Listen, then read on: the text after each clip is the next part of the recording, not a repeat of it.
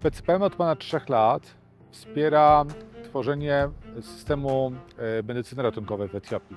Projekt finansowany przez Polską Pomoc, czyli przez MSZRP, obejmuje wsparcie systemu e, ambulansów, karetek pogotowia, e, wsparcie sprzętowe dla szpitalnych oddziałów ratunkowych, tzw. SOR-ów, ale także to, co jest za mną, czyli wsparcie sprzętowe medycznego zespołu ratunkowego Ministerstwa Zdrowia Etiopii, które jest taką brygadą szybkiego reagowania, aby reagować na różnego rodzaju potrzeby medyczne, które mają miejsce w granicach Etiopii, związane z napływem uchodźców, czy epidemiami, czy różnego rodzaju innymi katastrofami, które mają miejsce. Ze środków polskiej pomocy, czyli ze środków także państwa podatków, zostały zakupione namioty szpitalne, łóżka, wszelkiego rodzaju sprzęt, który pozwala medycznemu zespołowi ratunkowemu nieść pomoc tam, gdzie nie starcza sieci szpitali, gdzie lekarze są przepracowani, gdzie napływ na przykład uchodźców z Sudanu powoduje to, że trzeba tam wysłać dodatkową, dodatkowe możliwości medyczne i tam nieść pomoc.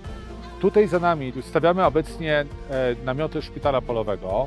Są to specjalnie namioty zakupione ze środków polskiej pomocy. Postawienie tego namiotu zajmuje większość dnia, ale one są bardzo duże i one mają specjalne powłoki umożliwiające utrzymanie w środku dość niskiej temperatury w miejscach, które mogą być w Etiopii bardzo gorące albo nastawione na bardzo ostre e, tropikalne słońce. W jednym z regionów Etiopii, dokładnie tam, gdzie ten medyczny zespół ratunkowy e, Ministerstwa Zdrowia Etiopii często pracuje, w ciągu dnia temperatury dochodzą do 50 stopni, więc tego typu e, namioty szpitalne, które są specjalnie zabezpieczone przed skutkami tak wysokich temperatur są tam bardzo potrzebne, a jest to obszar, gdzie cały czas jest bardzo dużo uchodźców i osób rannych ze względu na wojnę w Tigreju.